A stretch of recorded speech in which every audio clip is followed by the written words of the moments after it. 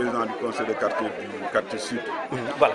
Et il y a eu un incendie tout de suite. Est-ce que vous pouvez nous décrire la situation et puis nous dire euh, véritablement l'implication du conseil de quartier que vous êtes? Oui, malheureusement, nous sommes, nous sommes réveillés ce matin euh, avec euh, cette annonce de l'incendie. C'est dommage. C'est dommage qu'il y a quatre maisons qui ont brûlé ici à la pointe sud.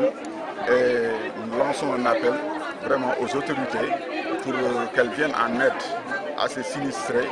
Et nous lançons en même temps un appel aux habitants du quartier et des Saint-Ligéens en général pour venir en aide aux sinistrés.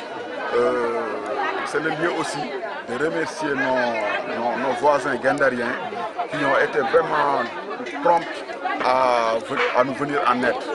Et nous remercions la population en général pour euh, tout ce qu'elles qu ont fait euh, pour venir en aide aux, aux sinistrés.